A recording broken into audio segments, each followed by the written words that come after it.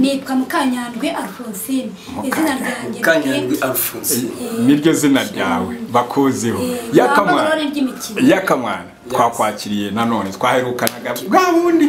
Wandishimye cyane ariko ngewe muranzi nsanzwe kuri wowe wowe barakuzi babuze ko usanzwe hano. ikinshimishije ni igiki sasa ni ukumuza Eh. na mbuga najyaga nkumva narakubona ariko biranshimishije. super star ni muhoberane ni muhoberane ni wowe koko bezumwa ariko uzi ko buriya nanjye ntugarure umubonye ahubwo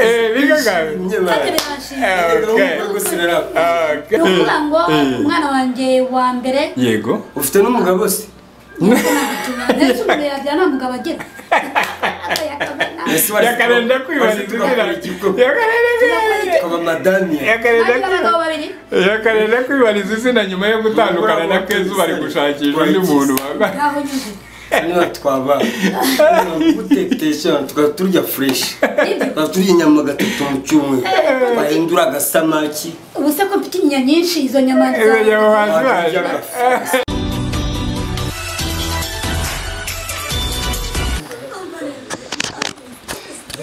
ni yakamwana ndetse na nyina wa mbogo. Baje twabahuje tugiye kubabaha mu kiganiro.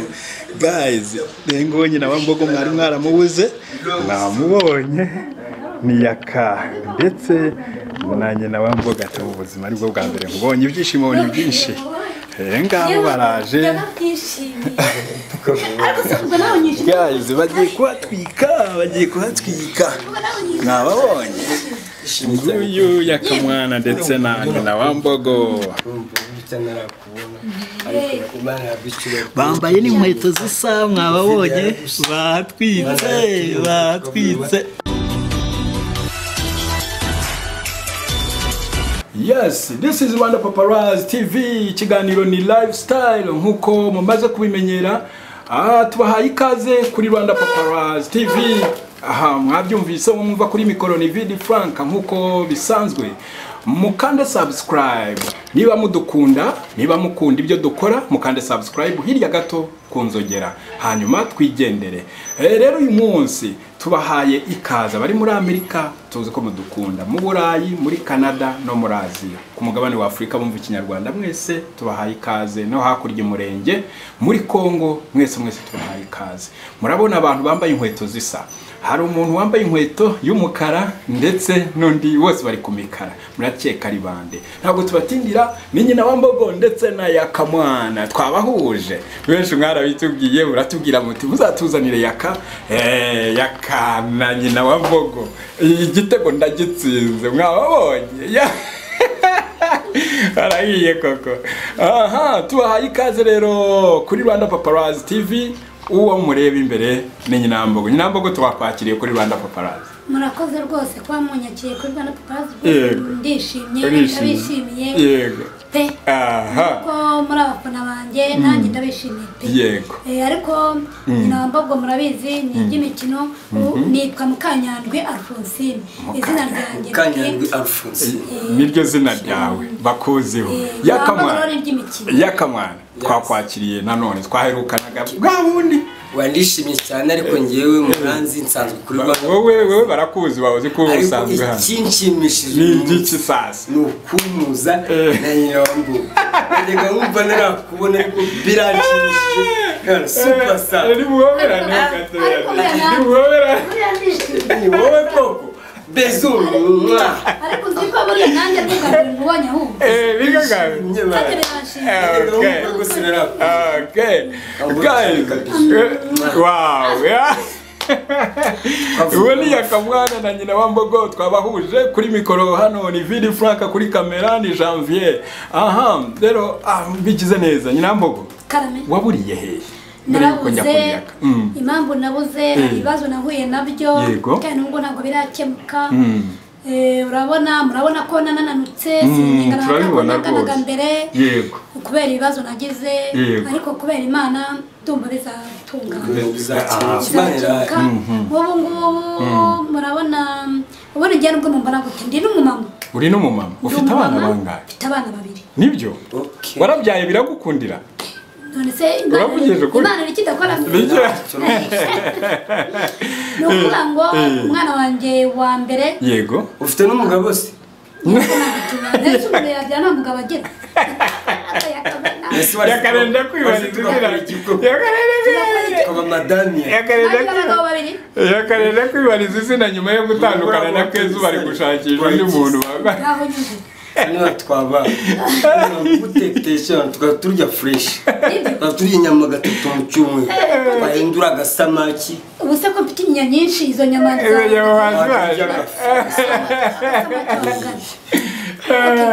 nuko nuko nyina wa mbogo wari ukitubwira barangirize Eh, umwana wanjye wa mbere agiye kugira imyaka icumi mu kwa cumi n'abiri kuri makumyabiri.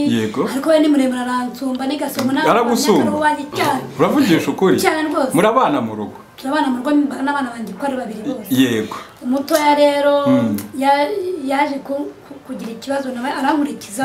Amaguru nk'ubu ngubu ngiye nsanzwe mbana n'ubumuga ku maguru. Yego. Rero ku buryo amagufwa ye ntabwo ameze neza. Ay'uwo mwana? Y'uwo mwana muto. Yego. Ubwo nahuze na- ni byo nahugiyemo njya ku muvuzi gatagara. Mm. kubera buri gihe baroga bambwira ngo amagufwa ye nta- ntago arakomera. Yego. bakanyambikira imiti. Biba ngombwa ko mba mu ruhango kwa mukuru wanjye. Ubwo ni ibibazo nahuye na byo. Nyuma ubwo urabona umwaka wose namaze mu byaro. Yego. Hari igihe nagushatse bambwira ko uri mu nandi byaro mu cyaro nyine nagiye kuvurwa umwana wanjye gatagara. Yego. kwa hariya Mm. Ubwo rero naragarutse ndashaka gushaka taransiferi nkongera ngasubirayo Mm. ba- bakazamutunganya bakazamubaga n'amaguru yombi. Yego. amagufwa bakayatunganya bakayagira neza. Imana izabikora imana Eh, izabigufasha naburiya biba byaratunganye ni ukubera nta bushobozi. Nabuze ubushobozi Mm. ahubwo buriya nk'abafana banjye bankunda. Turaza kuva hano tubabwiye bakuremere gushyiraho nomero yawe barabikora cyane. Baza kubikora rwose. urabaryohereza abantu turagukora barabizi ariko baranamfana nanjye yego. Aha yakamwana ya. Umeze ute? Ejo bundi gira gutya mbona ikiganiro uri kumwe na keza. Mwari muri mu biki? Mwari muri Eh, gupanga gusubirana byari bimeze bite Eh, keza nyine urabona umuvandimwe wari umuvandimwe Eh. byabaye byarabaye mwarabyumvise mwarabibonye Mm. ukuri twagushyize hanze Mm. Eh, ariko ntabwo bivuze ko keza twatandukanye. Eh. tuzadurira muri shuti turi n'abakinnyi ba rwanda parasi ubutumwa bugufi Yego. so njye na keza nta kibazo. Tumeze fresh. Muri make kiriya kiganiro ni cyo mwari murimo. We na keza mwari muri gusa naho mugaragariza abantu ko tugaragaza mukiri ko nta kibazo. Showbiz. Okay. kandi showbiz ni rwose ni ibintu bisanzwe bibaho murabizi so ukuri twagushyize ahagaragara. Mu kindi kiganiro uherutse gukora mbere yuko njya kuri nyina mbogo nawe hari ikiganiro namubonye yakoze hari ikindi kiganiro uherutse gukora ubwira abantu ngo uraje muri Amerika kwa Yago. Ah, byari bimeze gute?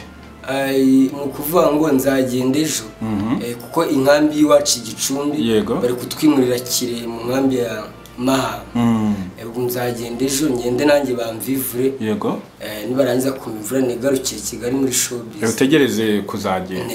Hariya kwa Yago wasaga n'umuntu wari uri gusezera abantu babwira uturagiye uragiye. Yakamaze gusezera inshuro nyinshi uri niga yanjye gusezera abantu ko ugiye muri Amerika ntibihite biba. Oya ntabwo nanjye muri Amerika Eh. nababwiraga yuko Eh, ko ugiye mu nkambi. nkambi Eh. ngiyemo Eh, bamvivure ubundi ngaruke showbiz i Kigali igihe nikigera bampamagare mfate rutema ikirere nerekeze Kasasi Mississippi City Walai. Ha. Ngabyo.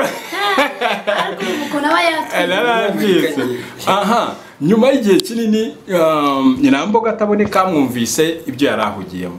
Ejo bundi nakubonye mu kiganiro uh, kuri big town um, uri mu kiganiro uh, nari naragushatse mbere ntaraba kukubona. Yego narakubuze kabisa. Hanyuma muri filime bimeze gute rero? Muri filime. Eh, abagukunda ubu nabo barakwibaza bati nyina wa mbogo bajyaga bakubonana amavideo ama DVD uyagendana ucuruza Eh. ubu bimeze gute rero? Ukuntu bimeze ubwo abantu baranshatse nanjye nabo barambuze kubera icyo kibazo mubwiye ukuntu byangendekeye umwaka wose mba mu iriya mu byaro naheruka intanga i kigali abantu bagashaka no kunyinisha baka- bakambura. Bakakubura. Niyo mpamvu nabuze rero ariko ubu ngubu nanagarutse none iby'amadividi na yo kuyacuruza. Ntabwo bikigezweho ubu hari iterambere ryaraje. Basigaye na YouTube irahari ya za YouTube ni ho basigaye Eh, babikinisha Mm. kandi no basigaye bakoresha n'amafurashe. Yego. Niyo mpamvu rero ntabwo ntiyacuruza. Okay aha muri ino minsi rero ni izihe filime uri gukinamo? Kugira ngo numve abagushaka bamenye izo filime bagomba kubona.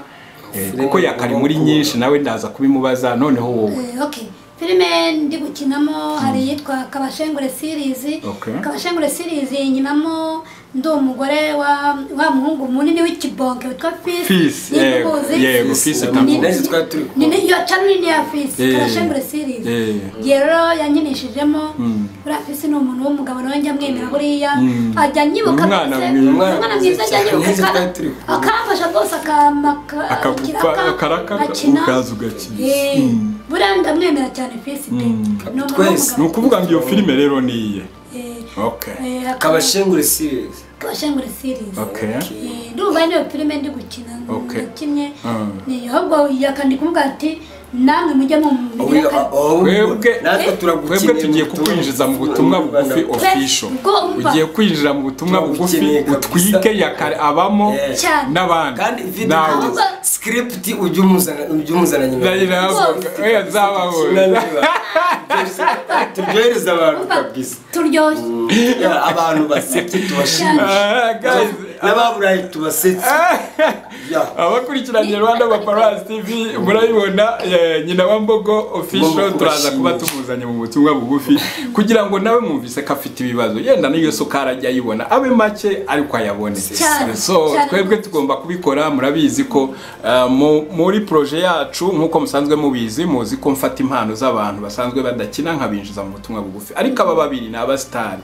Rero kubera nyina wa mbogo akeneye kugaragara muri sinema nanone nk'uko yari ameze tugomba kumuzana mu butumwa Eh, bugufi nkongera twiko nkagaragara. kuza- akongera akagaragara Eh, rwose. mukongera mukanzamura sibyo oya niko bimeze. Oya, niko kiri. Eh, Niko kiri kabisa Tu- turagushyigikiye Ah, aha. Yaka rero ngaho mbwira rero. Wowe uhagaze gute muri sinema noneho?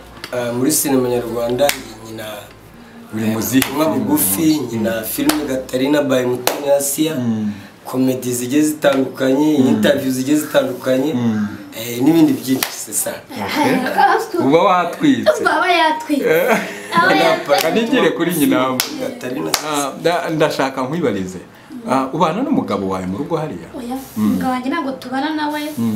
Gusa hari igihe amfasha akaba yama nk'udufaranga nkishyura inzu uko Yego. njye mba mu nzu nkodesha ubwo njye mbana n'abana banjye uko ari babiri. Mm. Ngabo ariko we ntabwo ndi kumwe nawe. Ntabwo uri kumwe nawe. Ariko abana arabafasha iyo yabo igihe- afite igihe iyo amafaranga. afite amafaranga hari n'igihe yayama yishyurira nk'umwana ku ishuri ku buryo nta kibazo biba bimutwaye. Eh, gusa ikibazo gusa ni niba icyo yabonye yibuka Eh, kugufasha akagufasha ku- bitewe n'ubushobozi afite ni Eh, byiza cyane. So Okay. eh, so tubwira n'abandi bagabo eh, bana niba uratandukanye n'umugore ba niba ugize icyo uronka jya umenya ko afite abana bawe Yego. umuntu agira akantu. Eh, uru- cyane rwose. urumva rero urumva rero ako kantu. aha. Ubu rero tugiye tugiye kujya ga- tugiye kujya mu busesenguzi bwa filime nyarwanda. Nyina wa mbogo filime z'uyu munsi. Mwazikinnye kera abantu benshi barakuzi na kanyombya bakuzi na nyagahene mu mafilime menshi atandukanye. Uyu munsi yaka uramuzi muri filime. Ndamuzi. hanyuma uyu munsi uruhando rwo muri filime za hano mu rwanda urarubona gute? Urabona rugeze he? Muri filime za hano mu rwanda rero mu Eh. by'ukuri. Mm. ngewe rwose singiye kukubeshya. Mm. kuko ngewe urabona sinjya nkunda ku- kugira ku- kubireba. Yenda na taci ya telefone ntayo ufite ya smartphone. This is lifestyle. Y'abakinnyi bo mu butumwa bugufi. Kora subscribe, share, comment, biremewe. Umva tuvugana ahubwo nanabareba Eh. oya Ahubwo wakinnye, turaje turakora umuti bazakuremere. Umva frank Eh. umva bazandemere bametaje oya ariko bimeze reba nk'iyi telefone. Eh. uzi ni telefone? Na- ni ga- ni- ni gatoroshi niba wawe kanjye ndazaraye zigatwaye. Ntabwo nawe ushaka ariko ariko ngira ngo mbabarira umbarize yaka indaya. Eh, mumbarize. Nyumvira umuntu washaka gutuba inshuti nawe ngo indaza oya nini mwitume nshutiranga utasubira mu rugari nakubwira uko azagutetesha azaguteteshawapi igitenge cyiza abagore banini bane bano bagore babose kazi urabona bambara neza urumva tujya vuga nginda zareze mu none marandangaza jya netesha uzanetesha ntabwo wewe nimubona izina ry'imana indani aba nzisezeye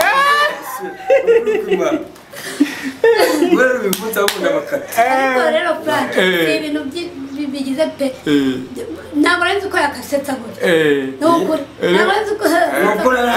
ariko urumva nagukoreye surupurize naguhamagaye ndayakandamubwira umwanya guhuza na nyina wamboga ati ngwiki ati niguma hamwe yumvise yishimye cyane kukubona najyaga nkumva buri cyamamare buriya. Najyaga nkumva narakubona Ni icyamamare no- Frank, uyu na nzovu ni abasitari bakomeye. Ndagushimiye cyane kumuzana nyina wa rwose ariko nanjye tukavuma ndishimye mwirafurahi hase Frank n'ibi bintu abaye bitekereje Eh, kuduhuza kuko mugana kubera arabitekereje kubera ko yaka turahorana abari mu rugo Eh. tuba turi kumwe kenshi. Kandi nawe twari tumaze iminsi tuvugana Eh. nkubwira ko ngomba kuzakuzana. Kuko kenshi iyo ubwiye umuntu ikintu ushaka gukora Eh. harimo abantu bahita bagenda bakabibwira abandi ukabona bakoze icyo kiganiro. Eh, rero ubundi umuntu uri professional cyangwa umunyamwuga uhamagara abantu ukabahuriza mu kiganiro bigahita biryoha. Eh, noneho ugahita biryoha mwageze imbere aho ngaho uko duhuza ibyamamare tugwaho tukaganira tukanamenyana sisa urumva rero ikintu cyiza cyane video Urumva rero ni byo bintu umuntu aba agomba gukora. kugenda uhuza abasitari nkatwe b'ibyamamare kugenda uhuza pana nka ba bandi babona muri indasitiri nyarwanda hari abantu ba- ba- ba- ba- banga gufashanya yego umuntu akaza agura se wambaye runaka nkamukinisha yango ntabwo ntabwo umukinnyi wanjye ukagira ngo yaramubyaye. Tujye dufatanya twese Dushyire hamwe. industry, dushyire hamwe dufasha. Reka nibarize nyinambogo nyinambogo ngiye kubaza utubazo nka tubiri. Tumbaze rwose. Eh, muri filime zo mu rwanda ata- atari yaka kubera muri kumwe. Ninde muntu ujya ubona yenda ubona ukina ukumva ukumva cyangwa ukumva arabizi? Okay. ni uwowe ndajya no mu baririmbyi kumva arakuryoheje umuntu nku- nkubwiye rwose Eh. kandi nawe ura- urumva ari Eh. seburikoko seburiko uriya seburikoko kagira Wa- udukabyo twinshi agasetsa kabisa. abantu abantu- nanjye ndabemera ahubwo dore ikintu bajya bambwira ntabwo se nyina wanjye ko wazimye ko seburikoko mugize gukina ngo yitwa sekaganda. Anagutereta ati ko atagushyira muri seburiko Eh. Eh, bakajya babimbaza. Nanjye nkababwira ni buriya rero umuntu ntabwo apfa kumukinisha. Biterwa na Na- role nuko na script aba yanditse Script, Eh. ashoboye eh, n'icyo Kuko ashoboye hariho igihe abantu baba batabizi. Ashobora gukina, kujya yego. Eh, ni muri uyu munsi wenda bamboneye akabona harimo umwanya wanjye. Umwanya wanjye ngomba bankoreye iyanjye bazampamagara. Yeah. buriya ntabwo barambonera wenda iyo ese Nibyo. rore. Eh, mbabwira jyewe ubundi aha. Ka tujya ku baririmbyi bo mu rwanda. Abaririmbyi bo mu rwanda ninde uzi ninde uku- wumva indirimbo ye uri nko mu rugo ukumva urayizi? Ni uwuhe muhanzi uzi hano. Ariko uwo muntu nkunda no kumuvuga Eh, Umu- umuhanzi wi- w'imiziki rwose witwa Knowless. Knowless Butera Knowless uranjye amwemera nkunda n'indirimbo ze. Cyane. Uramuzi uranamwemera. Knowless ndamuzi ndanamwemera kandi impamvu uzi ko buriya mu ruhango ah, hariya Knowless aturuka nanjye ari kwa mukuru wanjye. Okay Eh, burya mbese aturuka mu ruhango eh, ni kwa Eh, mukuru ni wanjye iwabo. yaramuha okay nanjye Knowless aturuka mu ruhango buriya nanjye buriya rero ndi umukongomani iwacu ni masisi Eh, yeah. ni masisi iwabo ni eh, ni masini havuye iwacu mu rugo kavuki Masisi uzi uko nagiyeyo warageze i masisi. Eh, uyu aragenda no muri nagiye- goma ba- naramubonye badutu- ba- ba- baravuze ngo Eh. barashaka ngo kanyombya ngo na Eh. nyina wa mbago Eh, ngo na Mwakiniye ngo aho- n'intare y'ingore mwakiniye aho bita mu rubari mubwire impamvu mubwire impamvu iyi masisi mazi twanyuze ahantu bita imisozi ya ni nari ingore Ndibikuye. eh ingungu hariya ni mu rugo ariko hari imikuku myinshi n'inka nyinshi zimeze neza. Baduhaye foromaje. Ah, bacu abaforomaje Urumva amata kira kintu yakurumva nkubeshye nagiye hariya ni ho mu rugo rero ikibazo ni uko nagiyeyo mfite uwo mwana wanjye mutoya muhetse. Eh, Wabuze- wabuze yari uko amagare umusiga. akiri umwana muto afite yego. Nagiye.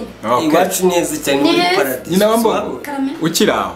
Niki kintu ujya ukumbura muri filime ziriya zanyu mwakinnye na ba nyagahene na ba kanyombya na ba samusure ni izihe- ni episode ujya wumva ukumbuye? Mbega ni muri ibyo bihe? Ni nk'akahe gafilime ujya wumva ukumbuye. Katumye mwamamara cyane. Mba nkumbuye ka gafilime kacu ka cya twatangiraho kitwaranira kubaho. Eh, kandi eh. kanyombya tubyina Eh. kabyina tubyina kanyombyamo amafaranga gutya. Eh. kandi hahandi inzoga ba mu gikoma kandi eh, ndabibwiza na metero nzu umwana akina. Yewe, Eh. barabanaga muri muri filime bose. Rero ntugeze kuduhuza na metero mu kiganiro. Bakoranye itavi ariko rero kamubwira yakarara kumubwira akoze kwavuze ko nta telefone. Cyangwa urabe nagira ngo uze kumpa nimero yawe. Eh, ndayiguha uyimpe ayiguhe rwose. Pe. Zeru karindwi umunani icyenda icyenda icumi rindira gato zeru niturangiza urayima ndayiguha rwose. Aha. Ubundi ujye umpamagara. Njye nkuvugisha kabisa. Kuva mwa- mwahuriye hano muzajya muramagana kandi no mu butumwa bugufi muzajya mukinana. Cyane. aha noneho rero nyirambogo hari abantu bagukunze cyane. Harimo abaminisitiri harimo aba- abayobozi. Uyu munsi uhuye na perezida kagame. Uhuye na perezida kagame. Mugahura ukamwicara imbere. Wamusaba iki? Yewe mama yewe wacu. Yewe wamusaba iki umubyeyi wacu? Perezida. Yewe mama we. Uhuye wamusaba iki? Ikintu cya mbere Eh, cya mbere mbere namusaba eh, eh, ni iki? Ko numva ibyishimo si ubinyishe ngo na Eh, ko numva bindenze umukabona bamuguteretse byaba ari- igitangaza. numva bindenze byaba ari igitangaza byonyine byonyine nkamuramutsa. Yewe byaba ari igitangaza kumuramutsa gusa si byaba bihagije. Nka- umva Eh. byaba ari igitangaza. Warangiza ukamubwira ibibazo. Naza nkamubwira ibibazo byanjye. Harimo n'ibyo ngibyo byo umwana ukamubwira byose Akagufasha. nkubwira. amahirwe ukamwibonera rwose umusaza aha reka twikomereze nk'uko twari turi kuganira na nyirambogo twumvise icyo perezida wamusaba bariya bana be rero. Bamwe barashatse abandi ntibarashaka. Wemera ko baba bakuzi Okay. buriya rwose pe. Birashoboka ko baba banzi simbizi Eh. ariko baranzi buriya kuko abantu bakunda kureba amafilime Eh, kandi mwanazikinnye kera Eh, twese tutaranariza mumereze uti bose uti bose ukeka ko baba bakuzi. Eh, ubwo rero n- um, nanjye simbishidikanyaho bashobora kuba bakuzi. Hagize nk'umwana we umwe. Akaza akavuga ati nimunzanire nyirambogo ufite agakado ushaka kumuha. Ukabona guhaye amverope wareba ute nyirambogo wabasha kugenda uvugirije ukuri Eh? wabasha kugenda